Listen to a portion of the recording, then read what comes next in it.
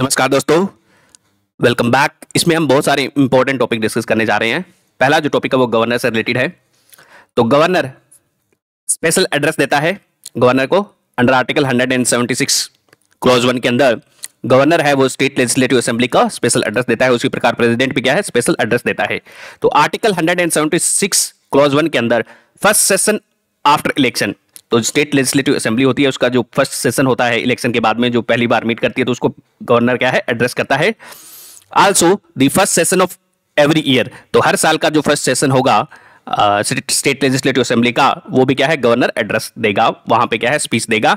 And by convention India में first first session है वो बजट सेशन को माना जाता है।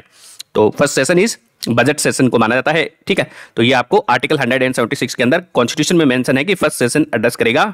Of after election as well as first session of every year governor similarly president है प्रेसिडेंट की power with respect to parliament है, ये गवर्नर की पावर है आर्टिकल 176 क्लॉज वन के अंदर. तो जो गवर्नर स्पीच देगा, वो क्या है? गवर्नमेंट प्रिपेयर करती है। तो गवर्नमेंट प्रिपेयर करती है, उसमें गवर्नमेंट की क्या है? पॉलिसीज़ और एजेंडा मेंशन होते हैं और इसको रीड किया जाता है गवर्नर के द्वारा। ठीक है फ़र्स्ट सेशन में कैन गवर्नर रिफ्यूज क्या गवर्नर रिफ्यूज कर सकता है इसको पढ़ना? रिसेंटली क्या है, तमिलनाडु के गवर्नर दो चार लाइनें पढ़ के भाग गए थे वहाँ से सेशन से, ठीक है? तो it is a constitutional obligation है उसको पढ़ना, इसको क्या है स्पीच देना, ये कॉन्स्टिट्यूशनल ऑब्लिगेशन है, ये गवर्नमेंट के द्वारा प्रिपेयर किया जाता है and it is constitutional obligation परंतु कितना पढ़ना है, ठीक है? तो मान लेते हैं पचास पेज का डॉक्यूमेंट है, उसको पढ़ना ज़रूरी नहीं है, उसमें से एक लाइन पढ़े, दो लाइन पढ़े, ये गवर्नर के डिस्क्रिप्शन पे गवर्नर अपना डिसाइड कर सकता है कितना पढ़ता है उस पर कोई कुछ नहीं बिगाड़ सकता। परंतु इसको पढ़ना क्या है? पढ़ना it is a constitutional obligation तो governor need to read but it is not mention how much कितना उसको पढ़ना है, ये नहीं बताया गया है कॉन्स्टिट्यूशन में। तो गवर्नर के पास क्या होती है? इम्यूनिटी होती है, ठीक है? तो इसमें कोई प्रोसीजरल इरेगुलेटरी तो होती नहीं है तो गवर्नर गवर्नमेंट है उसमें जो कोर्ट है वो इंटरफेयर नहीं करती है, कितना पढ़े, कितना नहीं पढ़े। तो इसमें there is no substantive illegality नहीं है इसमें, ठीक है? आर्टिकल 176 क्लोज टू क्या कहता है?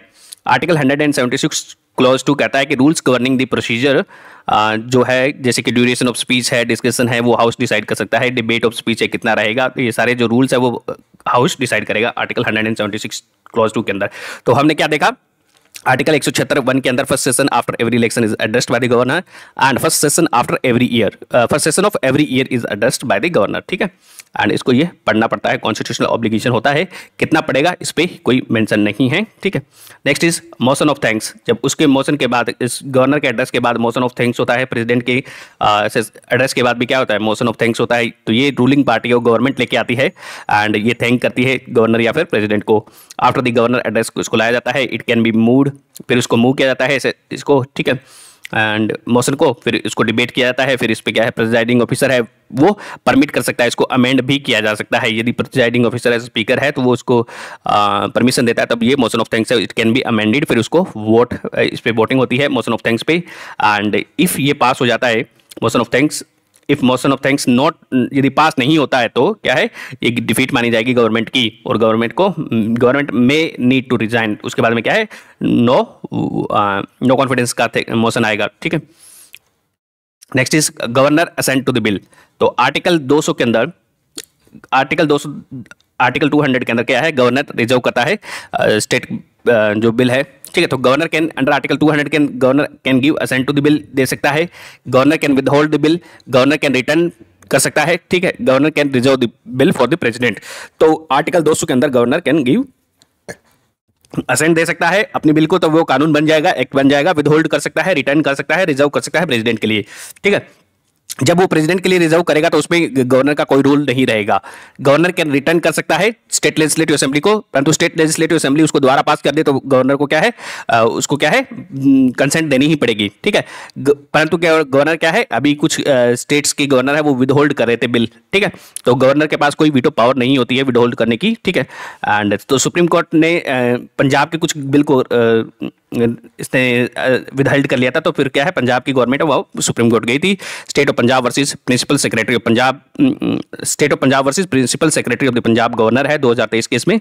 इसमें सुप्रीम कोर्ट ने कहा था कि the expression as soon as possible convey the constitutional imperative of the expedition तो court can not keep a bill pending for indefinite period के लिए पेंडिंग नहीं रह सकता। इट इज़ इन ठीक है? तो जो governor are empowered governor are not empowered to keep a bill indefinitely pending, ठीक है? तो वो सुप्रीम कोर्ट ने ये बोला है कि दे आर नॉट एम्पावर्ड है, ठीक है? एम्पावर्ड नहीं है कि वो इनडेफिनेटली किसी एक बिल को अटकाए रखें, ठीक है? तो गवर्नर को इसको विदहोल्ड नहीं कर सकते ज़्यादा टाइम के लिए। एंड परंतु ऐसा कोई टाइम लिमिट नहीं देगी है कि वो कितने टाइम के लिए विदहोल्ड करेगा।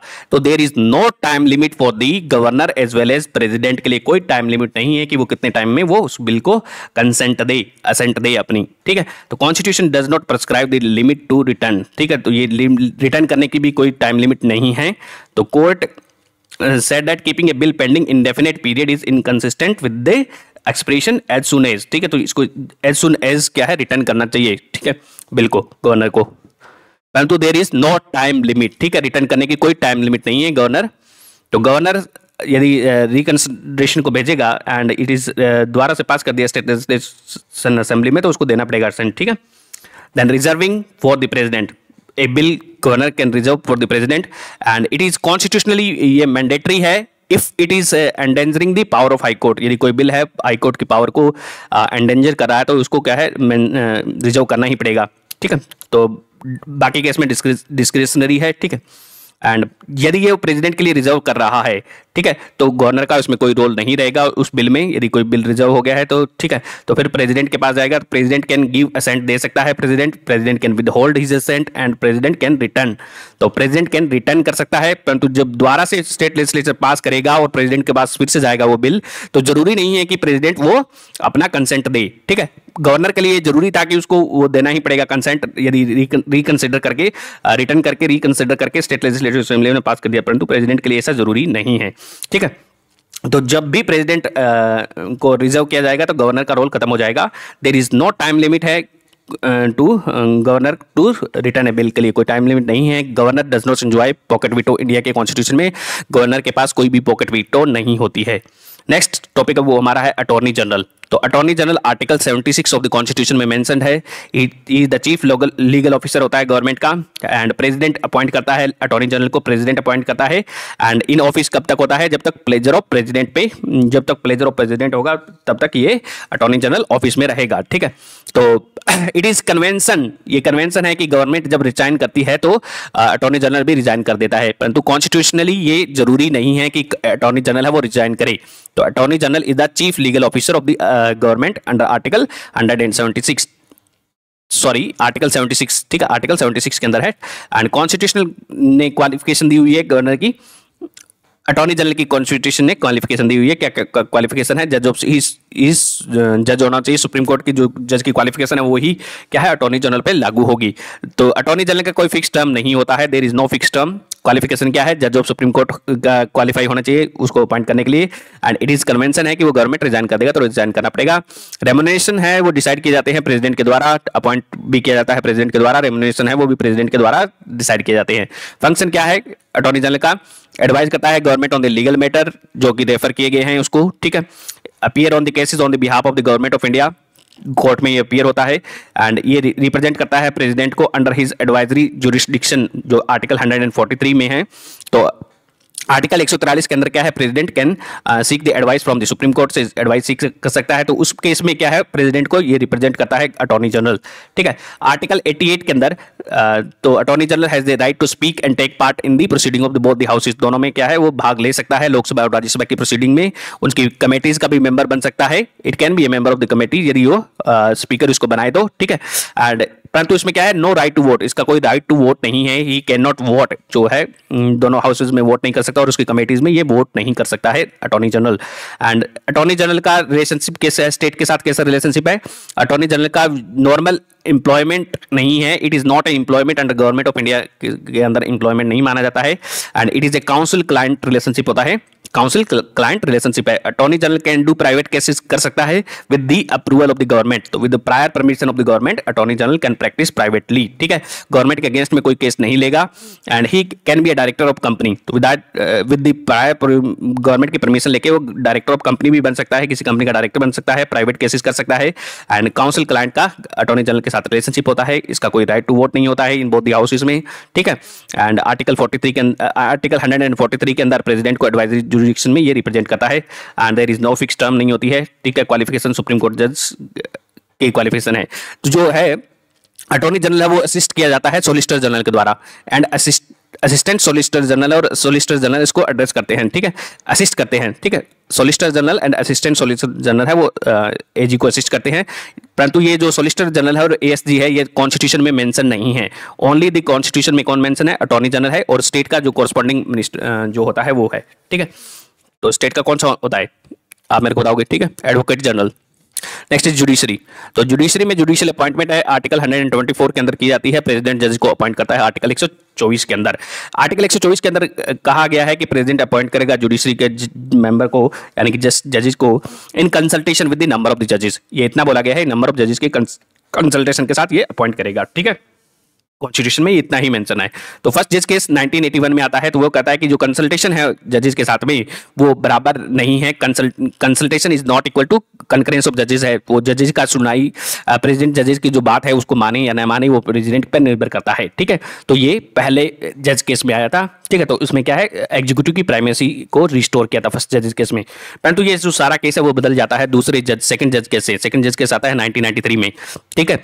तो उसमें ये पासा पलट जाता है, क्योंकि तब सेकंड जज केस में सुप्रीम कोर्ट कहता है 1993 की जो कंसल्टेशन है वो कंकरेंस होगा। यानी कि जो जजेस जो जजेस जो भी एडवाइस देंगे, वो क्या है प्रेसिडेंट को माननी पड़ेगी।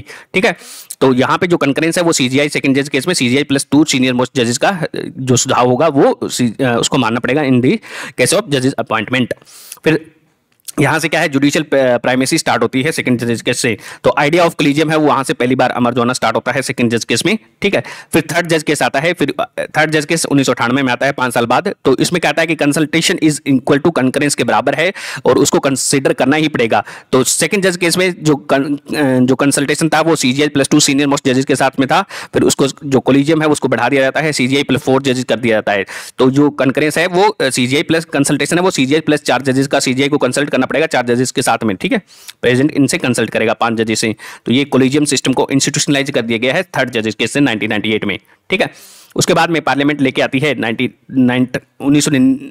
पार्लियामेंट निन्यानवे नाइन्टी नाइन्थ क्या है? कॉन्स्टिट्यूशनल अमेंडमेंट लेके आती है एंड अपॉइंटमेंट करने के लिए, ठीक है?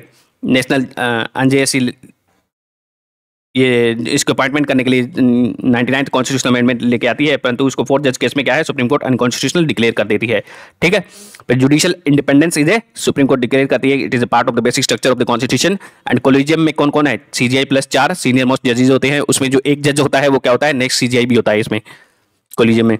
Next is memorandum of procedure तो ये फ़र्स्ट जजेस केस के बाद में से ही ये मेमोरेंडम ऑफ़ प्रोसीजर है, वो अपॉइंटमेंट ऑफ़ जजेस के लिए है। एंड ये काफ़ी पुराना है, अभी नए एमओपी के लाने के बारे में बात चल रही है।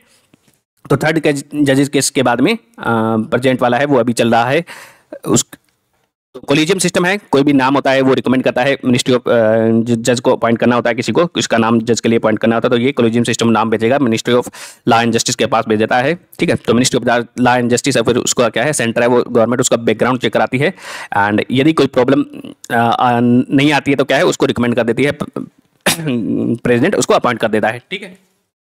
एंड यदि इफ़ बैकग्राउंड चेक करती है और उसमें कोई प्रॉब्लम आती है तो centre can ask the collegium system to reconsider that name ठीक है? तो यदि कोलिजियम सिस्टम फिर उसको, नाम को रिकंसिडर करता है और उसको द्वारा से रिकमेंड कर देता है किसी बंदे के नाम को तो ज़रूरी नहीं है कि प्रेसिडेंट उसको कंसेंट दे दे। ठीक है? तो प्रेसिडेंट है प्रेसिडेंट पे कोई टाइम लिमिट नहीं है कि उसको कितना में अपॉइंट करेगा उसको। तो memorandum of procedure is a basically document है that is framed by the government in consultation with the judiciary तो memorandum of procedure is a document जो कि गवर्नमेंट बनाती है in consultation with the judiciary for the appointment of जजेस of higher judiciary that is supreme court and high court ठीक है? There is no time limit prescribe for the president to appoint a जज ठीक है? तो जज को appoint करने के लिए कोई भी टाइम लिमिट नहीं है। यदि uh, for example Nagendra Nayak के केस में सुप्रीम तो तीन बार भेजा था कोलिजियम ने नाम को भेजा, तीन बार इनका नाम नागेंद्र नाम का, नायक का नाम भेजा था, जज को अपॉइंट करने के लिए, परंतु प्रेसिडेंट ने अपॉइंट नहीं किया था, क्योंकि प्रेसिडेंट है, वो काउंसिल ऑफ़ मिनिस्टर है, उसकी एड एंड एडवाइस पे काम करता है तो गवर्नमेंट नहीं चाहती है तो उसको अपॉइंट नहीं किया जाएगा जज को, ठीक है तो प्रेसिडेंट टुक नो एक्शन ठीक है। तो वर्ल्ड क्लीजियम है, वो कॉन्स्टिट्यूशन में मैंसन नहीं है एंड न्यू एमओपी पे बात चल रही है डिस्कशन चल रहा है, परंतु अभी ओल्ड एमओपी पे ही अपॉइंटमेंट होती है। नेक्स्ट इज़ कॉन्स्टिट्यूशनल बेंच तो article 145 of the supreme court article 145 के अंदर सुप्रीम कोर्ट है रूल मेकिंग पावर होती है and supreme court can regulate its own affairs को रेगुलेट कर सकती है subject to the law made by the parliament with prior provision with the prior approval of the president है president की prior approval लेके supreme court अपने जो rules है वो बना सकती है, उसके लिए प्रेसिडेंट की प्रायल अप्रूवल चाहिए होगी। और ये जो है, सुप्रीम कोर्ट की जो रूल मेकिंग पावर है रेगुलेट करना है, वो पार्लियामेंट के लॉ मेकिंग पावर पर भी डिपेंड करती है। ठीक है? तो it can regulate its own affair ठीक है? With the prior approval of the president article 141 के अंदर हियरिंग है, कैसे हियरिंग होगी अपील होगी, वो इसमें मैटर में सुप्रीम कोर्ट में, हाई कोर्ट में कैसे होगी, वो इसमें डिसाइड किया गया। आर्टिकल एक सौ इकतालीस के अंदर सुप्रीम कोर्ट से रिलेटेड है। आर्टिकल 145 क्लोज थ्री क्या कहता है? नंबर ऑफ़ जजेस टू सीट इन कॉन्स्टिट्यूशनल कोई भी केस आएगा जिसमें कॉन्स्टिट्यूशन का इंटरप्रिटेशन होगा, यानी कि कॉन्स्टिट्यूशनल बेंच में कम से कम कितने जज होंगे? पाँच जज होंगे। तो कॉन्स्टिट्यूशनल बेंच में कितने जज होंगे? पाँच बज, पाँच जजेस की बेंच होगी minimum and in case of the presidential reference यदि कोई भी प्रेसिडेंशियल रेफरेंस होता है कोई भी तो एडवाइजरी जुडिशन है आर्टिकल 143 के अंदर तो उसमें क्या है प्रेसिडेंट एडवाइस सीख कर सकता है। तो उसके अंदर यदि कोई प्रेसिडेंशियल रेफरेंस आता है सुप्रीम कोर्ट के साथ तो क्या है, पाँच जजेस की बेंच बैठेगी, वो कम से कम पाँच जजेस की बेंच होगी, वो क्या है एडवाइस देगी सुप्रीम कोर्ट को। प्रेसिडेंट को एडवाइस है, वो पाँच जजेस की बेच देगी। तो मिनिमम फाइव जज है कॉन्स्टिट्यूशनल बेंच में भी पाँच जज होगी कम से कम, और प्रेसिडेंशियल रेफरेंसेस के केस में भी क्या है मिनिमम पाँच जजेस होंगे। ठीक है? एंड आर्टिकल 145 के अंदर क्लोज फाइव के अंदर रिक्वायरमेंट ऑफ़ मेजोरिटी है। मेजोरिटी कंसेंसस की रिक्वायरमेंट ज़रूरत होती है कोई भी डिसीज़न देने के लिए। ओरिजिनल जुडिक्शन जो आप पढ़ सकते हो सुप्रीम कोर्ट का क्या क्या है सेंटर वर्सेस स्टेट का केस डिस्कस करेगी। एंड स्टेट वर्सेस स्टेट है स्टेट वर्सेज यूनियन टेरिटरी है उसका जो केस है वो ओरिजिनल जुडिक्शन के अंदर आता है। Next is S L P S क्या होता है? सुप्रीम कोर्ट का डिस्क्रिप्शन पर डिपेंड करती है स्पेशली पटिशन एंड कोई भी uh, अंदर एपलेट एपलेट जुरिस्डिक्शन के अंदर क्या है कि uh, कोई भी केस है, वो हाई कोर्ट से सुप्रीम कोर्ट जाता है तो उसके लिए क्या है, हाई कोर्ट का सर्टिफिकेट चाहिए होता है। परंतु कुछ मैटर में हाई कोर्ट सर्टिफिकेट नहीं देती है। तो हाई कोर्ट जब सर्टिफिकेट नहीं देती है तो क्या है एसएलपी के थ्रू सुप्रीम कोर्ट में जाया जा सकता है। ठीक है? तो एसएलपी स्पेशल लीव पिटीशन है, जो कि सुप्रीम कोर्ट के डिस्क्रिप्शन पे निर्भर करती है। ठीक है? एंड ये it is not a matter of right परंतु ये सुप्रीम कोर्ट का डिस्क्रिप्शन है एसएलपी ठीक है तो इसको जो इंटरस्टेट वाटर रिवर डिस्ट्रीब्यूट है, वो एस एल पी के शुरू सुने जाते हैं सुप्रीम कोर्ट में, ठीक है? It is not mandatory for a CGI to be part of constitutional bench तो कॉन्स्टिट्यूशनल बेंच का सीजीआई का पार्ट होना ज़रूरी नहीं है। CGI can be part can not be part ठीक है? एंड जुडिशियल मैटर में क्या है? CGI is equal to all the other जजेस के बराबर होता है। सीजीआई और सुप्रीम कोर्ट के सारे जज बराबर होते हैं जुडिशियल मैटर में। परंतु एडमिनिस्ट्रेटिव मैटर में क्या है? प्राइमेसी होती है सीजीआई की, ठीक है? एंड लार्जेस्ट अभी तक की कौन सी बेंच बनी है? थर्टीन बेंच जज बेंच बनी थी केसवन भारती केस में। Next is CGI is the master of roster तो CGI as a master of roster होता है, ठीक है? डिसाइड द केस का, कौन सा केस किस बेंच को जाएगा, ये डिसाइड करता है केस लोकेशन को डिसाइड करता है। एंड रोस्टर क्या होता है? Roster roster is system of location of the cases to the benches तो रोस्टर है वो कौन सी बेंच को कैसा केस जाएगा, उसको उसको रोस्टर बोलते हैं, ठीक है? According to supreme court rule supreme court registrar supreme court का जो रजिस्ट्रार है he shall appear he shall prepare a roster as per the direction of the CGI तो सीजीआई के डायरेक्शन पे सुप्रीम कोर्ट का जो रजिस्ट्रार है वो क्या है, वो रोस्टर को प्रिपेयर करता है on the direction of CGI ठीक है? मास्टर ऑफ़ रोस्टर कौन होता है? सीजीआई परंतु उसको प्रिपेयर कौन करता है? सीजीआई सुप्रीम कोर्ट का registrar on the direction of supreme court on the direction of CGI ठीक है? चीफ जस्टिस ऑफ़ इंडिया की डायरेक्शन प्रिपेयर करता है। Next is all India judicial service तो अभी रिसेंटली प्रेसिडेंट ने इसको रिकमेंड किया था कि उसको बनाया जाए, ठीक है? तो तीन इंडिया में हैं। कौन कौन से आप मेरे को बताओगे? ऑल इंडिया सर्विसेज़ ठीक है? तो न्यू ऑल इंडिया सर्विस कैसे क्रिएट की जा सकती है? जब राज्यसभा टू थर्ड मेजोरिटी से पास करी रेजोल्यूशन को पास करती है तब इसको प्रिपेयर फिर दूसरे हाउस में जाएगी फिर वो कंसिडर करेगी ठीक है? तो इसके लिए क्या इनिशिएट करने के लिए क्या है? Rajya Sabha two by third majority से पास करना चाहिए क्योंकि ये फेडरल प्रोविज़न से रिलेटेड है all India services for the appointment of the lower judiciary के लिए इसको प्रपोज uh, किया जा रहा है ऑल इंडिया जुडिशियल सर्विस को डिस्ट्रिक्ट जजेस को. एंड अपॉइंटमेंट अभी कैसी होती है? स्टेट पीएससी प्लस हाईकोर्ट मिलकर इसको डिसाइड करते हैं ठीक है? तो आप देख लेना जुडिशियल जजेस की अपॉइंटमेंट है। तो ये भी क्या है अभी रिसेंटली क्या है डिस्ट्रिक्ट जजेस को सुप्रीम कोर्ट ने क्या बोला था, उसकी जो डिस्ट्रिक्ट जुडिशरी के इंडिपेंडेंस क्या है, वो बेसिक स्ट्रक्चर भी है तो डिस्ट्रिक्ट जजेस हमारे लिए बहुत इंपॉर्टेंट हो जाएगा इस बार। ठीक है तो नेक्स्ट इज़ मीडिएशन एक्ट 2023 तो इसमें हम पढ़ेंगे, पहले हम पढ़ते हैं मीडिएशन अल्टरनेटिव एडीआर के type there are four type of ADR है. नेगोशिएशन है मीडिएशन है कंसिलिएशन है आर्बिट्रेशन है. तो चार तरह के एडीआर के टाइप हैं अल्टरनेटिव डिस्प्यूट रेजोल्यूशन तो मीडिएशन इज़ ए एडीआर होता है अल्टरनेट डिस्प्यूट रेजोल्यूशन बिना कोर्ट के ये डिस्प्यूट रेजोल्यूशन है, ठीक है? तो इसमें सबसे इन्फॉर्मल होता है नेगोशिएशन होता है सबसे इन्फॉर्मल फिर मीडिएशन होता है, फिर कंसिलिएशन होता है, फिर क्या होता है? आर्बिट्रेशन ठीक है? तो नेगोशिएशन से आर्बिट्रेशन की तरफ़ जाते हैं तो क्या है? उसकी जो फॉर्मेलिटी है वो इंक्रीज हो जाती है कॉम्प्लेक्स प्रोसीजर है वो इंक्रीज हो जाता है, ठीक है? नेगोशिएशन क्या होता है, वो इन्फॉर्मल होता है, इसके लिए, इसके कोई भी लॉ की ज़रूरत नहीं होती है। There is a no standalone law इसके लिए कोई लॉ नहीं है इनफॉर्मल होता है नेगोशिएशन ठीक है? एंड आर्बिट्रेशन और कंसिलिएशन के लिए लॉ ऑलरेडी एग्जिस्ट करते हैं। मीडिएशन के लिए स्टैंड लॉ नया बनाया गया है, नया, एक लॉ बना दिया गया है अभी, ठीक है? तो नेगोशिएशन क्या होता है? Negotiation is between the parties दो दो पार्टीज़ होती है ए पार्टी और बी दो पार्टी दोनों डायरेक्टली नेगोशिएट करती हैं। इसमें कोई थर्ड पार्टी नहीं होती है, ठीक है? इसमें जो डिस्प्यूट जिन पार्टी में हो रहा है, दो पार्टी जिनकी वो डायरेक्टली नेगोशिएशन में नेगोशिएट कर लेती हैं। नेक्स्ट इज़ मीडिएशन है। तो मीडिएशन में दो पार्टी पार्टी वन है पार्टी टू है, ठीक है? तो इनके बीच में क्या है? एक मीडिएटर होता है, ठीक है? तो मीडिएशन में एक मीडिएटर होता है, जो थर्ड पार्टी होती है, जो फैसिलिटेट फैसिलिटेट कराती है। पार्टी वन और पार्टी टू के बीच में जो सुलह है, वो फैसिलिटेट कराती है। उनके बीच में बातचीत है, वो फैसिलिटेट कराती है। और फिर वो जो मीडिएशन सेटलमेंट है, वो दोनों पार्टी को एक्सेप्टेबल होगा, तभी उसको लागू किया जाता है मीडिएशन में, ठीक है? तो मीडिएशन में एक मीडिएटर होता है जो फैसिलिटेट कराता है between party one and party two के बीच में बातचीत को, ठीक है? उनके बीच में सुलह कराता है। आर्बिट्रेशन क्या होता है? आर्बिट्रेशन इज़ मोस्ट फॉर्मल होता है एंड तो ये आर्बिट्रेशन है तो कोई भी आ, जो कॉन्ट्रैक्ट साइन होता है तो उसमें मेंशन होता है कि कौन कौन सा डिस्प्यूट रेजोल्यूशन प्रोसेस क्या होगी। तो arbitration is a formal process है तो agreement lay down the arbitral proposal होता है वो एग्रीमेंट में ही जो पहले ही उसको ले डाउन होता है कि पार्टीज़ क्या क्या फॉलो करेगी प्रोसेस फॉलो करेगी ठीक है? तो आर्बिट्रेटर है वो थर्ड पार्टी होती है वो अवार्ड देती है ठीक है? तो आर्बिट्रेटर का आर्बिट्रेशन अवार्ड होता है जो कि थर्ड पार्टी देती है और ये बाइंडिंग होता है ठीक है? नेक्स्ट इज़ कंसिलिएशन कंसिलिएशन में क्या है? कंसिलिएशन में कंसिलिएटर है वो भी क्या है? थर्ड पार्टी है. Conciliator which facilitate the dispute resolution को फैसिलिटेट कराती है। ठीक है? यहाँ पे क्या है? वो अपना सुझाव दे सकती है अपना ज्ञान बांट सकती है। कंसिलिएशन कंसिलेटर होता है वो फैसिलिटेट कराता है। मीडिएशन में, में क्या है? हमने देखा वो वो क्या है? उन दोनों के बीच में बातचीत फैसिलिटेट कराता है परंतु वो वहाँ पे वो सुझाव नहीं देता है। यहाँ पे कंसिलेटरेशन है वो अपना सोल्यूशन दे सकता है। ठीक है? And even if not agreement नहीं है, तब भी क्या है कंसिलेशन को प्रपोज किया जा सकता है। आर्बिट्रेशन में क्या है, वो एग्रीमेंट होता है, तभी उसको आर्बिट्रेशन में जाता है। परंतु इसमें क्या है ये रिकमेंड कर सकते हैं कंसिलिएशन के लिए, बिना ऐसा कोई एग्रीमेंट हुए भी। नेक्स्ट इज़ गवर्नमेंट ने क्या है मीडिएशन एक्ट 2023 पास कर दिया है तो very very important mediation act तो इसने क्या है वॉलेंट्री प्री लिटिगेशन मिटिगेशन कर दिया गया है। तो जो प्री लिटिगेशन लिटिगेशन होंगे प्री लिटिगेशन मिटिगेशन होगा जो वो क्या होगा? मीडिएशन ठीक है? प्री लिटिगेशन जो मीडिएशन है मिटिगेशन ये मीडिएशन है वो क्या है? वॉलेंट्री होगा ठीक है? मैंडेटरी नहीं होगा पहले मैंडेटरी था अभी क्या है उसको वॉलेंट्री कर दिया गया है। बिल में आ, ये मैंडेटरी था परंतु उसको अभी गवर्नमेंट ने वॉलेंट्री कर दिया है। तो याद रखना है कि ये it is voluntary pre litigation mediation ठीक है? दूसरा क्या है? स्ट्रेन केसेस है वो मीडिएशन से एक्सक्लूड किए जा सकते हैं। फॉर एग्ज़ाम्पल हीनियस क्राइम है सीनियस ऑफेंस हीनियस क्राइम है सीरियस ऑफेंसेस है उसको क्या है? इसको मीडिएशन की लिस्ट से बाहर रखा गया है, ठीक है?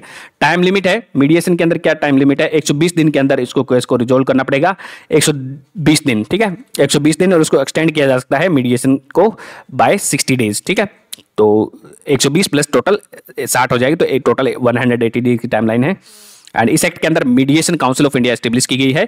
मीडिएशन काउंसिल ऑफ़ इंडिया का काम क्या होगा? Registration regulation employment of mediators यानी कि जो मीडिएशन सर्विस प्रोफेशनल होंगे, उनको ये क्या है? रजिस्टर करेगी, उनका रेगुलेट करेगी। Mediation council of India next is community mediation के लिए प्रोवाइड किया गया है इस एक्ट के अंदर। ऑनलाइन मीडिएशन को प्रोवाइड किया गया है। इसके अलावा मीडिएशन सेटलमेंट एग्रीमेंट है। तो मीडिएशन सेटलमेंट एग्रीमेंट होगा जो पार्टीज़ के बीच में जो पहुंचेगा, उसको इन्फोर्सेबल बनाया गया है इस एक्ट के द्वारा। एंड हाउ एवर यदि किसी केस में वो फ्रॉड के द्वारा वो जो है साइन किया गया है फ्रॉड या फिर करप्शन के द्वारा वो सेटलमेंट साइन करने की कोशिश होती है तो क्या है? वो इन्फोर्सेबल नहीं होगा। ठीक है? इन जनरल ये इन्फोर्सेबल होगा। Mediation settlement agreement will be enforceable ठीक है? And parties can withdrawn after two sittings हैं।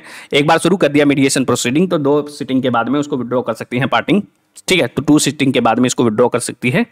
तो इंपॉर्टेंट प्रोविज़न कौन कौन से होंगे? मीडिएशन एक्ट 2023 के voluntary pre litigation mediation certain cases जैसे कि सीरियस केसेस हैं, वो इसके प्रीव्यू में नहीं आएँगे। टाइम लिमिट क्या है? 120 प्लस 120 प्लस साठ, एक डेज़ हो जाएगी। Mediation council of India establish की गई है। And as a statutory body then इसमें क्या है? कम्युनिटी मीडिएशन प्रोवाइड किया गया है। ऑनलाइन मीडिएशन प्रोवाइड किया गया है। मीडिएशन सेटलमेंट एग्रीमेंट होगा, वो इन्फोर्सेबल होगा। ठीक है?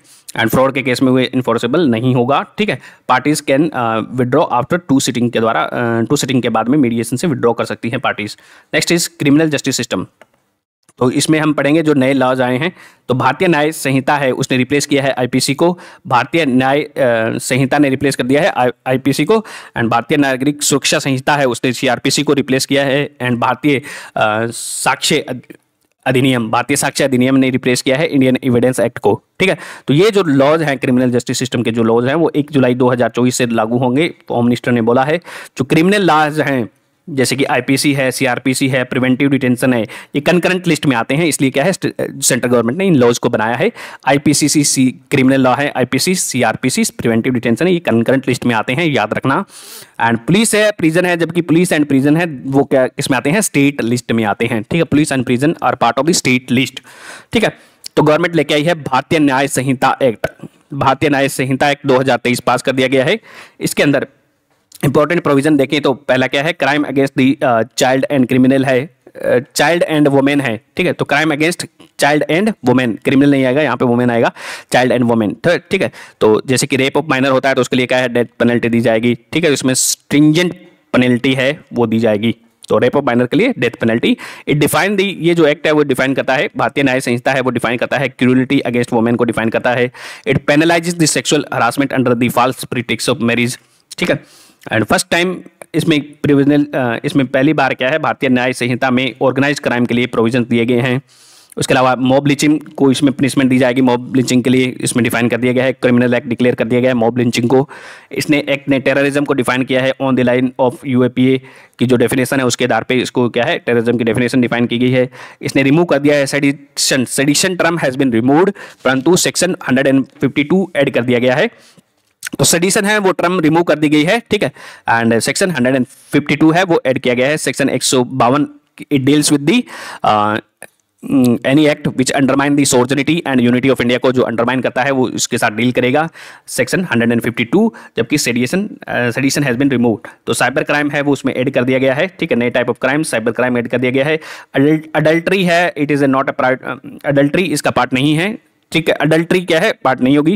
एंड uh, जो मैरिटल रेप है they are also not the criminal offence उनको भी क्रिमिनल इन्फ्लुएंस नहीं माना गया है। इस एक्ट के अंदर पहले भी नहीं माना जाता था। अब भी क्या है वो इसके क्रिमिनल ऑफेंस नहीं है। ठीक है अभी भी। कम्युनिटी सर्विसेज़ है।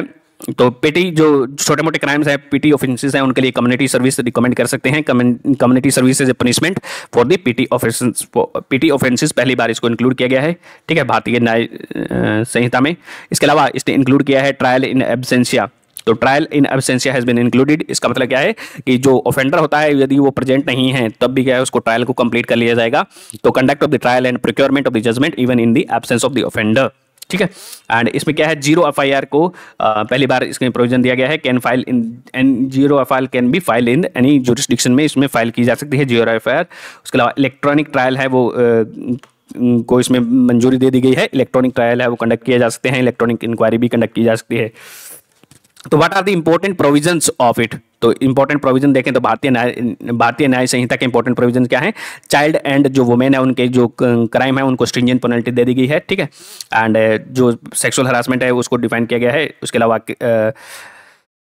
फ़र्स्ट टाइम है, इसमें ऑर्गेनाइज क्राइम को इंक्लूड किया गया है मॉब लिंचिंग को क्राइम डिक्लेयर कर दिया गया है टेररिज्म को इंक्लूड किया गया है डेफिनेशन को सडिशन रिमूव कर दिया गया है सेक्शन 152 ऐड किया गया है, ठीक है? साइबर क्राइम को इसमें इंक्लूड किया गया है अडल्ट्री इसी का पार्ट नहीं है, ठीक है? उसके अलावा जो मेरिटल रेप है, वो भी अभी क्या है क्रिमिनल ऑफेंस नहीं है अभी भी। क्या है कम्युनिटी सर्विस है फ़र्स्ट टाइम इंक्लूड किए गए हैं उसके अलावा इसने ट्रायल इन एबसेंसिया यानी कि जो ऑफेंडर है, उसकी गैर मौजूदगी में ट्रायल को कंप्लीट किया जा सकता है। ज़ीरो एफआईआर है, वो कहीं किसी भी जुरिस्डिक्शन में फ़ाइल की जा सकती है। ठीक है? एंड इसने इलेक्ट्रॉनिक ट्रायल को मंजूरी दे दी है। ठीक है? देन एफआईआर और चार्जशीट के बीच में क्या डिफरेंस होता है? FIR is the first information first information report होती है। ठीक है? तो जो पुलिस पहली बार रिपोर्ट रजिस्टर करती है, वो क्या होती है? एफआईआर होती है। ठीक है? तो it is a police report है। एंड ये कॉग्निजेबल क्राइम्स होते हैं उनके लिए, ये एफ़ आई आर रजिस्टर की जाती है। एंड इसमें गिल्ट इज़ नॉट एस्टेब्लिश तो अभी क्या है, अभी इंक्वायरी भी नहीं हुई है तो गिल्ट कैसे एस्टेब्लिश हो जाएगा? सेकंड इज़ चार्जशीट होती है, ठीक है? तो chargesheet is the final investigation तो chargesheet is the final investigation report होती है पुलिस की। एंड ये भी क्या है कॉग्निजेबल ऑफेंस में जो कि फाइनल रिपोर्ट होती है उसको बोलते हैं चार्जशीट ठीक है? एंड इट इज़ ए इसमें क्या है, ये प्रेजेंट की जाती है chargesheet is presented to the court and इसमें गिल्ट को एस्टेब्लिश किया जाता है, दोषी कौन है ये बताया जाता है इस रिपोर्ट में। ट्रायल इस इसी बेसिस पे ट्रायल स्टार्ट होते हैं चार्जशीट पे बेसिस पे चार्ज जो ट्रायल है कोर्ट में स्टार्ट होते हैं on the basis of the charge sheet ठीक है? Charge sheet is not a public document नहीं होता है। Charge sheet is a not a public document supreme court ने बोला है। एंड हाई जो एफ़ आई आर है F I R is a public document है, जबकि चार्ज शीट पब्लिक डॉक्यूमेंट नहीं है, ठीक है? तो इन दोनों के बीच में आपको डिफरेंस पता होना चाहिए। Next is plea bargaining plea bargaining has been included in Bharatiya Nagarik Bharatiya नागरिक सुरक्षा संहिता है, उसमें इंक्लूड कर ली गई है भारतीय नागरिक सुरक्षा संहिता में, ठीक है? तो इट इज़ वैन दी इसमें क्या होता है? कोई भी मान लेते हैं। तो उसको पहले पढ़ लेते हैं ठीक है।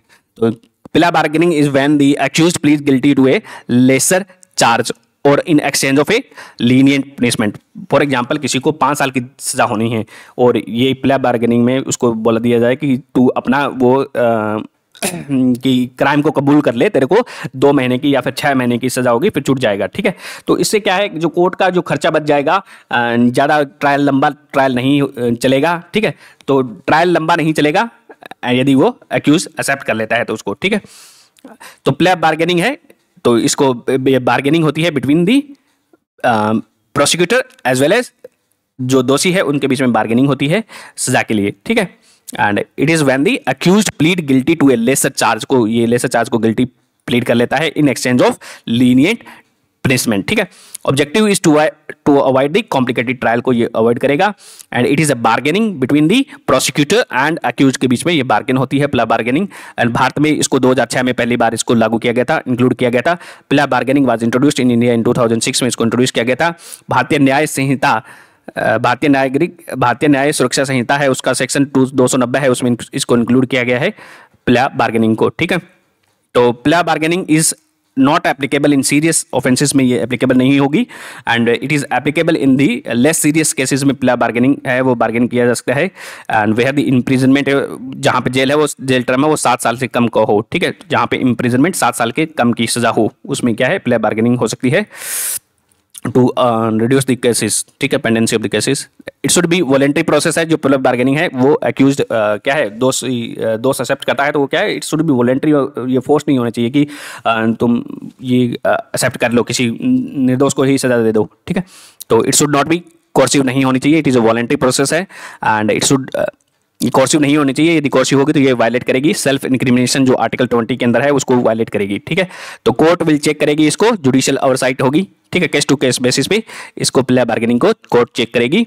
एंड सुप्रीम कोर्ट ने in Natwar Thakur case in Natwar Thakur case में सुप्रीम कोर्ट ने कहा था कि plea bargaining must be assessed factually and evaluated on case to case basis and it is the discretion of the जज के description पे depend करेगा कि वो इसको प्ले बार्गेनिंग को एक्सेप्ट करता है या नहीं करता है। Next is parole and furlough तो पेरोल एंड फरलो क्या होती है? ये भी पी वाई क्यू है, ये तो आ चुका है शायद ये। तो these are the both are the conditional release हैं। These are available to the convicts हैं, उनको अवेलेबल होती हैं, दोषी को अवेलेबल हैं। ठीक है, जिसको सजा सुन, सुनाई जा चुकी है कन्विक्ट वो होते हैं, जिसको सजा मिल चुकी है। ठीक है? एंड ये कंडीशनल रिलीज़ होती है पेरोल क्या होता है? Parole is not a right parole is not a right right नहीं होता है। एंड ये क्या है? स्पेशल सर्कमस्टांसिस में दी जाती है पेरोल तो सम नीड और स्पेसिफिक नीड है, उसको मीट करने के लिए दी जाती है। ये एग्जीक्यूटिव के डिस्क्रिप्शन पे होती हैं। Since the prison are in the state list है स्टेट लिस्ट में आते हैं तो स्टेट सरकार इसको नियंत्रित करती है प्रिजन को।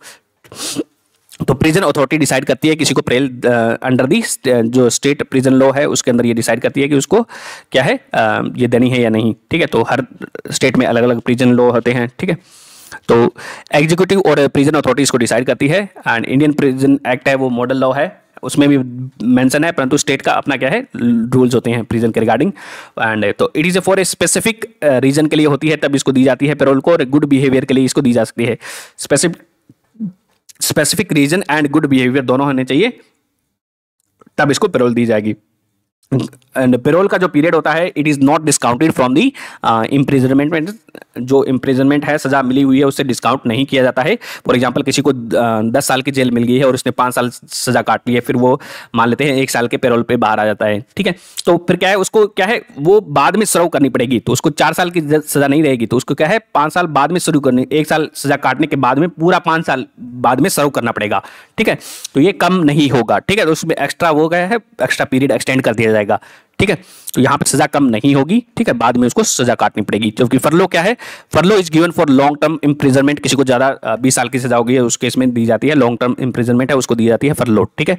तो it is a not a specific इस मैटर के लिए नहीं होती है it is a matter of right तो furlough is a matter of right है, ठीक है? To its purpose is to enable a person to have a social ties ठीक है? जो दोषी है, उसको सोशल टाइज हो, ठीक है? एंड फैमिली वगैरह हो, ठीक है? तो लॉन्ग टर्म इम्प्रिजनमेंट के लिए फरलो दी जाती है। नो स्पेसिफिक मैटर की ज़रूरत नहीं होती है। It is a matter of right है। And it is a reformative process होती है। फरलो के लिए रिफॉर्म करने के लिए प्रोसेस होती है। तो रिवीजन इज़ अवेलेबल इसमें रिवीजन अवेलेबल होता है। फॉर एग्ज़ाम्पल हमने अभी देखा था कि उस दस साल की सजा हुई है और एक साल पाँच साल उसने काट चुके हैं और पाँच साल बाकी हैं। तो पाँच साल में क्या है? उसको यदि एक साल की वो फरलो पर रिलीज़ आता है तो उसको क्या है? फिर चार ही साल सजा काटनी पड़ेगी। तो सजा में इतनी कटौती हो जाती है फरलो में। ठीक है? तो Maninder Singh versus state of Haryana में सुप्रीम कोर्ट ने क्या कहा था कि when prisoner is on parole his period of release does not जो पेरोल पे होता है तब उसको डिस्काउंट नहीं किया जाता है, जबकि फरलो में उसको डिस्काउंट कर दिया जाता है, उसकी रिमीजन है, वो कम हो जाती है उतनी सी। फरलो में कम नहीं होती है। Next is river water dispute तो रिवर वाटर डिस्प्यूट तो वाटर है, वो स्टेट लिस्ट में आता है एंट्री 17 ठीक है तो स्टेट लिस्ट की एंट्री 17 में है वाटर है और इंटर स्टेट वाटर है, जबकि वो इंटर स्टेट रिवर वाटर है, वो आता है यूनियन लिस्ट में एंट्री 56 तो वाटर दो जगह मेंशन है entry 17 and entry 56 entry 56 deal with the inter state river water union list में आर्टिकल 250 आर्टिकल दो सौ बासठ आर्टिकल 262 तो पार्लियामेंट में मे बाय लॉ प्रोवाइड और adjudicate the interstate river water distribute को रेगुलेट कर सकती है। उसी के लिए क्या है पार्लियामेंट ने दो एक्ट बनाए हैं interstate river water act 1956 and river water river board act 1956 ये दो एक्ट बनाए गए हैं interstate river water act 1956 and river board act 1956 यही जो आर्टिकल 262 है it bars the supreme court और any court from the any court from the adjudicating इस जो मैटर है, वो इंटर स्टेट वाटर डिस्प्यूट है, वो उसके जुडिटिक्शन में नहीं आएगा सुप्रीम कोर्ट के या फिर किसी भी कोर्ट के। तो ये दिस कोर्ट आर है barred from hearing the cases under article 262 parliament can make the laws और पार्लियामेंट ने दो लॉ बनाए हैं inter state river water dispute act उन्नीस and river water board act 1956 ठीक है? परंतु हमने अभी देखा है कि सुप्रीम कोर्ट से कुछ भी स्पेशल लीव पिटिशन में क्या है सुप्रीम कोर्ट है, वो inter state water river dispute को सुन सकती है, ठीक है? स्पेशल लीव पिटिशन एस में सुनती है फिर इसको तो interstate river water dispute act है। उसमें क्या process interstate river water dispute act उन्नीस सौ छप्पन में क्या प्रोसीडिंग है? कोई डिस्प्यूट हो जाता है तो फिर जो पार्टी होती है डिस्प्यूट में पार्टी दो स्टेट होगी, ठीक है? तो उनमें से एक पार्टी है, एक या दोनों पार्टी है, वो सेंट्रल गवर्नमेंट के पास जाएगी एंड सेंट्रल गवर्नमेंट को बोलेगी कि उसके लिए क्या है, वो ट्राइब्यूनल बना सकती है। तो सेंट्रल गवर्नमेंट के पास जब डिस्प्यूट पर कोई कंप्लेन आती है तो central government can can constitute ad hoc tribunal constitute कर सकती है, ठीक है? तो उस डिस्प्यूट को डिस्प्यूट करने के लिए रिजोल्व करने के लिए एडहॉक ट्राइब्यूनल है, यानी कि टेम्प्रेरी ट्राइब्यूनल है, वो सेंट्रल गवर्नमेंट बना सकती है, ठीक है?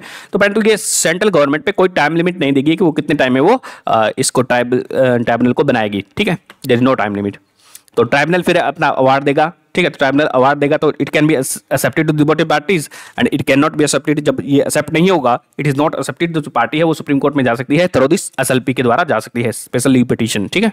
तो परंतु स्पेशल लीव पिटीशन है वो सुप्रीम कोर्ट के डिस्कशन पर निर्भर करेगी एंड इट कैन गारंट और इट कैन नॉट गारंट वो सुप्रीम कोर्ट पर निर्भर करेगा, ठीक है? Next is very very important act election commission election से रिलेटेड है chief election and other election commission act 2023 ये पास हुआ था, ठीक है? तो इलेक्शन कमीशन है, उसकी अपॉइंट कौन करता है? Election commission and chief election commissioner है, उनकी अपॉइंटमेंट है, वो प्रेसिडेंट करता है, ठीक है? तो प्रेसिडेंट अपॉइंट करता है। तो नंबर ऑफ़ जजेस नंबर ऑफ़ इनका जो चीफ इलेक्शन है, वो कौन डिसाइड करता है? प्रेसिडेंट डिसाइड करता है कितने चीफ इलेक्शन कमिश्नर होंगे। तो उसका नंबर है, वो भी क्या है? वो प्रेसिडेंट डिसाइड करता है अपॉइंटमेंट भी प्रेसिडेंट करता है, ठीक है? याद रखना है प्रेसिडेंट नंबर डिसाइड करता है पार्लियामेंट नहीं करती है नंबर ठीक है? And this consist of the the constitution empower करता है parliament to enact laws for the appointment service condition and tenure of election commission तो कॉन्स्टिट्यूशन है वो पार्लियामेंट को पावर देता है to enact a law for appointment service condition and tenure के लिए। तो पहले ऐसा कोई लॉ नहीं था ठीक है? अभी सुप्रीम कोर्ट ने 2020 में एक जजमेंट दिया था कि uh, जो चीफ इलेक्शन कमिश्नर है और दूसरे अदर कमिश्नर हैं दो उनकी जो अपॉइंटमेंट है वो प्राइम मिनिस्टर सीजीआई और लीडर ऑफ़ अपोजिशन करेगा। तो ये सुप्रीम कोर्ट का जजमेंट था, ठीक है? तो अंटिल द एज जब तक ये सुप्रीम कोर्ट ने बोला था कि parliament CGI plus leader of opposition supreme court ये इलेक्शन कमीशन की अपॉइंटमेंट करेगा। अंटिल ए पार्लियामेंट जब तक ये पार्लियामेंट ये जो लॉ है, इस कानून के अंदर जो दिया हुआ है, वो नहीं बनाती है, ठीक है? तो पहले तो लॉ नहीं था, फिर तुरंत क्या है, सुप्रीम कोर्ट ने कुछ बोल दिया कि सुप्रीम कोर्ट के पास कैसे पावर आ सकती है सीजीआई कैसे आ सकता है इसमें, ठीक है? तो तुरंत क्या है पार्लियामेंट ने लॉ बना दिया है पास कर दिया है एंड उसके अंदर ये जो लॉ है chief election and other election commission act 2023 है, वो पार्लियामेंट के द्वारा बना दिया गया है। इसके अंदर प्रेसिडेंट आर्टिकल 324 के अंदर इलेक्शन कमीशन को अपॉइंट करता है, ठीक है? तो प्रेसिडेंट अपॉइंट करता है आर्टिकल 324 के अंदर इलेक्शन कमीशन ठीक है? एंड ये प्रेसिडेंट है, वो किसके रिकमेंडेशन पे अपॉइंट करेगा? सिलेक्शन कमेटी के रिकमेंडेशन पे अपॉइंट करता है। और सिलेक्शन कमेटी है, वो सर्च कमेटी के रिकमेंडेशन पे इनको लेती है। तो सिलेक्शन कमेटी में कौन कौन है? पहले हम सिलेक्शन कमेटी में देखेंगे तो प्राइम मिनिस्टर है लीडर ऑफ़ अपोजिशन है और कैबिनेट मिनिस्टर है। ठीक है? तो प्राइम मिनिस्टर है लीडर ऑफ़ अपोजिशन है और कैबिनेट मिनिस्टर है। तीन इस, तो ये जो कैबिनेट मिनिस्टर है वो पीएम नॉमिनेट करता है। ठीक है? तो इसमें क्या है? दो तो गवर्नमेंट के मिनिस्टर हो गए और एक लीडर ऑफ़ अपोजिशन है। वो सिलेक्शन कमेटी है, है फिर वो रिकमेंडेशन देगा प्रेसिडेंट को। फिर क्या है? वो रिकमेंडेशन देते हैं प्रेसिडेंट को और प्रेसिडेंट फिर अपॉइंट करता है। ठीक है? तो उनको क्या है, इनको क्या है सिलेक्शन कमेटी सिलेक्शन कमेटी को असिस्ट करती है सर्च कमेटी तो सर्च कमेटी में सर्च कमेटी का चेयरमैन होता है minister of law and justice chairman होता है सर्च कमेटी का minister of law and justice होता है, उसके अलावा सर्च कमेटी में दो सेक्रेटरीज होते हैं गवर्नमेंट ऑफ़ इंडिया लेवल के, दो सेक्रेटरीज है। ठीक है तो टोटल इसमें सर्च कमेटी में तीन मेंबर है। एक जिसका जो है चेयरमैन कौन है? Minister of law and justice है, और दो उसमें अदर मेंबर हैं सेक्रेटरीज है। तो ये जो तीन मेंबर बॉडी है, ये पाँच नाम है, वो सुझाती है किसको? सिलेक्शन कमेटी को। सिलेक्शन कमेटी को ये पाँच नाम भेजती है। परंतु ये सिलेक्शन कमेटी इन्हीं पाँच नामों को कंसिडर करे, इसके अलावा भी नाम को कंसिडर कर सकती है। तो इन अलावा, इनके अलावा भी नाम को कंसिडर कर सकती है। ऐसा कोई ज़रूरी नहीं है कि यही पाँच नाम में से कोई नाम रिकमेंड करे। अदर नाम को भी रिकमेंड कर सकती है। तो selection committee can also consider other than this five name recommended by research committee what is the इस एक्ट के अंदर क्या है? एलिजिबिलिटी क्राइटेरिया बताया गया है। कौन अभी क्या है? इलेक्शन कमीशन बन सकता है। तो इस तो हु कैन एलिजिबिलिटी क्राइटेरिया क्या है? इसके लिए he should be secretary to the government of India held और ही शुड और हेल्ड द इक्वलेंट पोस्ट या तो वो सेक्रेटरी रहा हो, या फिर उसके कोई इक्वलेंट पोस्ट है गवर्नमेंट ऑफ़ इंडिया में, उसने रहा हो। तब उसको ये एलिजिबल होगा इलेक्शन कमीशन के लिए, यानी कि ये ब्यूरोक्रेट्स हैं, वो भी एलिजिबल होंगे। सैलरी है salary it is will be similar to जज ऑफ़ सुप्रीम कोर्ट की सैलरी सिमिलर होगी इलेक्शन कमिश्नर की। एंड टेनियर है इसका कितना रहेगा? सी सी एंड ई का टेनियर है वो छः साल या फिर पैंसठ साल। ठीक है, जब तक वो रिटायरमेंट की एज तक नहीं पहुँचते तो tenure will be six year और sixty five year which is early then as reappointment as chief election commissioner की रिअपॉइंटमेंट नहीं हो सकती। Chief election commissioner can not be reappointed जबकि इलेक्शन कमिश्नर है, उसको क्या है? चीफ इलेक्शन कमिश्नर अपॉइंट किया जा सकता है। इलेक्शन कमिश्नर है, उसको चीफ इलेक्शन कमिश्नर अपॉइंट किया जा सकता है। परंतु इलेक्शन कमिश्नर को इलेक्शन कमिश्नर द्वारा रिअपॉइंट नहीं किया जा सकता। ठीक है तो उसका प्रमोशन तो हो सकता है चीफ सीईसी में, परंतु उसी पोस्ट पे किसी का, दोनों में से किसी का भी अपॉइंटमेंट नहीं होगा सेम पोस्ट पे। एंड तो इनका जो रिमूवल है चीफ इलेक्शन कमिश्नर और इलेक्शन कमिश्नर का कैसे किया जाता है? एज जज सेम प्रोसेस एज ए जज ऑफ़ सुप्रीम कोर्ट जैसा रिमूव करते हैं। एंड रेजिग्नेशन है, वो कैसे करता है? वो प्रेसिडेंट को रेजिग्नेट कर सकता है लेटर लिख के, ठीक है? He can resign to the president ठीक है? Election commission next is electoral bond तो ADR versus union of India case 2024 में सुप्रीम कोर्ट ने इलेक्टोरल बॉन्ड स्कीम को अनकॉन्स्टिट्यूशनल डिक्लेयर कर दिया है and because it is violative of the article 19 clause 1 clause a तो आर्टिकल 19 वन क्लोज ए ठीक है? तो ये राइट टू इन्फॉर्मेशन है, उसको ये वायलेट करती है एंड ये स्कीम है इलेक्ट्रोल बॉन्ड को इसको ये अनकॉन्स्टिट्यूशनल डिक्लेयर कर दिया गया है। ठीक है, याद रखना है कि राइट टू इन्फॉर्मेशन है, उसको वायलेटिव है, इसलिए ये अनकॉन्स्टिट्यूशनल है। तो इलेक्ट्रल बॉन्ड स्कीम है, वो लाई गई थी फाइनेंस एक्ट 2017 के द्वारा लाई गई थी एंड फाइनेंस एक्ट 2017 ने रिप्रेजेंटेशन ऑफ़ पीपल एक्ट 1951 को अमेंड किया था। इनकम टैक्स एक्ट को अमेंड किया था और कंपनीज़ एक्ट 2013 को अमेंड किया था। ठीक है? तो इन तीनों में जो भी अमेंडमेंट हुए थे फाइनेंस एक्ट के द्वारा दो के द्वारा उनको क्या है सुप्रीम कोर्ट ने फिर अनकॉन्स्टिट्यूशनल डिक्लेयर कर दिया है। तो यानी कि इनकी जो प्रोविज़न है, वो अभी क्या है वैलिड होंगे। ठीक है? तो क्या क्या चेंजेस किए गए थे? Changes introduced were under the representation of people act 1951 के अंदर इलेक्ट्रोल बॉन्ड स्कीम थी। Electoral electoral bond scheme exempting the political parties from the disclosures disclosure of the donation received from the electoral bond तो they were the political parties थी electoral bond scheme के अंदर। वो exempted थी from the disclosure of electoral कौन उसको क्या है कितना चंदा दे रहा है इलेक्ट्रोल बॉन्ड से वो उसको डिस्क्लोज करने के लिए। परंतु ये अभी क्या है उसको डिस्क्लोज करना पड़ेगा। तो, तो ने सारा डिस्क्लोज कर दिया है चंदा का डाटा ठीक है? तो ये ये प्रोविज़न अभी अनकॉन्स्टिट्यूशनल डिक्लेयर हो चुका है ठीक है? And they were exempted from the disclosure ठीक है?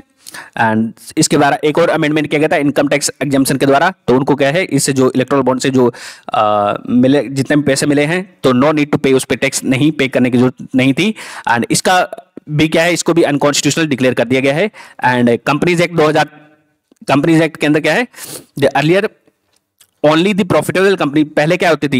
इलेक्ट्रोल बॉन्ड स्कीम से पहले ओनली दी जो इस, जो फाइनेंस एक्ट 2017 से पहले क्या थी? ओनली वो कंपनी जिसका जो प्रॉफिटेबल थी, वो चंदा दे सकती थी इलेक्ट्रोल चंदा दे सकती थी एंड उनका क्या है? वो भी कितना दे सकती थी? उसमें लिमिट थी कि 7.5 percent of the their last three year का जो नेट प्रॉफिट था, उसका भी क्या है? 7.5 परसेंट वो इलेक्ट्रोल चंदा दे सकती थी इलेक्ट्रोल डोनेशन दे सकती थी। तो earlier under the companies tax companies tax के अंदर only the profitable company with the whose जो प्रॉफिट है हुज अपने प्रॉफिट का वो 7.5 percent of the companies average net profit in the preceding three year can be given as electoral donation and this cap was remove इस cap को पहले क्या है? रिमूव कर दिया गया था फाइनेंस एक्ट के द्वारा। तो इस केप को फिर क्या है? अभी रिस्टोर कर दिया गया है। ठीक है? तो ये याद रखना है कि ये जो है केप है, वो साढ़े सात परसेंट वाली ये एग्जिस्ट करती है अभी।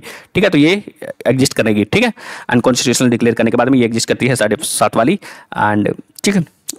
Supreme court has declare this amendment unconstitutional इनको डिक्लेयर कर दिया गया था अगेंस्ट दी uh, तो राइट टू इन्फॉर्मेशन वाला ठीक है? Next is right to privacy तो राइट टू प्राइवेसी के अंदर राइट टू प्राइवेसी है तो जजमेंट आया था पुट्टा स्वामी जजमेंट ठीक है? तो केस पुट्टा स्वामी जजमेंट इसमें तीन थ्री मोड ऑफ़ प्राइवेसी को डिस्कस करता है bodily privacy decisional privacy and informational privacy bodily decisional and informational privacy ठीक है? तो राइट टू प्राइवेसी एग्जिस्ट करता है।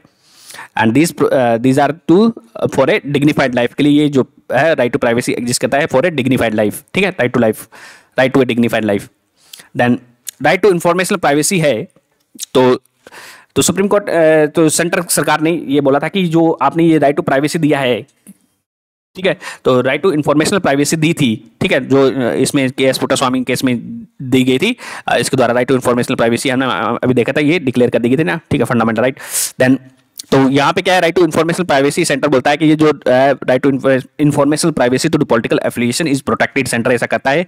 परंतु सुप्रीम कोर्ट ने कहता है कि जो जो है इन्फॉर्मेशन प्राइवेसी एग्जिस्ट करती है कि आपने कौन सा पॉलिटिकल एसोसिएशन है, उसके लिए तो प्राइवेसी है। तो right to informational privacy to political affiliation is there तो यानी कि जो right to information privacy political affiliation के लिए तो है, परंतु आप कितना चंदा दे रहे हो, वो इस बात में ये प्रोटेक्टेड नहीं है। ठीक है? क्योंकि चंदा दे के आप क्या है गवर्नमेंट की पॉलिसी को इन्फ्लुएंस कर सकते हो, ठीक है? तो that amount to corruption also तो how the financial contribution financial contribution है तो ये एक्सप्रेशन और सपोर्ट के लिए भी दिया जा सकता है, या फिर क्यूड को क्विड प्रो क्विड यानी कि कुछ कंट्रीब्यूशन इस उम्मीद में दिया जा सकता है कि क्या कि वो फ़ायदा हो गवर्नमेंट की इन्फ्लुएंस करने के लिए पॉलिसीज़ को। तो no protection for financial contribution के लिए कोई प्रोटेक्शन नहीं है। And right to right to privacy to political affiliation exist करता है। It does not extend to the financial contribution. So, it does not expand to the financial contribution which may made to influence the policies को influence करने के लिए बनाए गए हों। ठीक है, वो चंदा दिया गया हो। उसको ये एक्सटेंड नहीं करेगा। नेक्स्ट इज़ साइमल्टेनियस इलेक्शन तो it is one nation one election का बात चल रही है। तो part fifteen of constitution deal with election के साथ डील करता है। रामनाथ कोविंद कमेटी थी। उसने रिकमेंड किया था कि ये साइमल्टेनियस इलेक्शन भारत में किए जाए। ठीक है? तो वन नेशन वन इलेक्शन क्या होगा? ये कि सिंक्रोनाइज इलेक्शन होगा at all the level that is Lok Sabha state state legislative assembly and local body ये तीनों पे एक ही टाइम पे इलेक्शन हो सिंक्रोनाइज इलेक्शन ठीक है? अमेंडमेंट कौन कौन से अमेंडमेंट की ज़रूरत करनी पड़ेगी? क्या क्या लोकसभा के लिए क्या आर्टिकल 83 है, वो ड्यूरेशन ऑफ़ हाउस बताता है। उसको अमेंड करने की ज़रूरत पड़ेगी। ड्यूरेशन ऑफ़ हाउस कितनी रहेगी? तो लोकसभा के केस में 83 एंड स्टेट लेजिस्लेटिव असेंबली के केस में आर्टिकल 172 है, वो भी ड्यूरेशन को बताता है तो उसको भी अमेंड करने की ज़रूरत पड़ेगी। 83 एक सौ बेहतर स्टेट स्टेट असेंबली के देन आर्टिकल 85 है, वो डील करता है session dissolution and prorogation of the parliament को डील करता है ये। ठीक है, लोकसभा को ठीक है, लोकसभा को ही किया जा सकता है ना? ठीक है डिजोल्यूशन तो आर्टिकल 85 है, उसको भी अमेंड करने की ज़रूरत पड़ेगी। सिमिलरली स्टेट लेजिस्लेटिव असेंबली के केस में आर्टिकल 174 डील करता है सेशन है डिजोल्यूशन है उसको प्रोरोगेशन को। आर्टिकल 356 है, जो कि स्टेट कॉन्स्टिट्यूशनल फेलियर है, उसको भी क्या है अमेंड करने की ज़रूरत पड़ेगी। वन नेशन वन इलेक्शन से। Article eighty article hundred article eighty article hundred and article three को अमेंड करने की ज़रूरत पड़ेगी। तो ये सारे आर्टिकल अच्छे से देख लीजिए। Next is until nineteen hundred sixty उन्नीस सौ तक क्या है? साइमेंटेनियस इलेक्शन होते थे बाद में। दिनेश गोस्वामी कमेटी ने भी क्या है? वन इलेक्शन वन इलेक्शन का आइडिया को प्रपोज किया इसको प्रमोट करने के बारे में बात की थी, ठीक है? एंड बहुत सारे इसने प्रमोट किया है। तो ये हमारा जो टॉपिक है, वो इंपॉर्टेंट टॉपिक कंप्लीट होते हैं। इसके अलावा हमने वो कर चुके हैं। फाइनल लेप वाला सिस्टम है, उसको वेरी वेरी इंपॉर्टेंट उसको रिवाइज कर लीजिए। दो, तीन बार।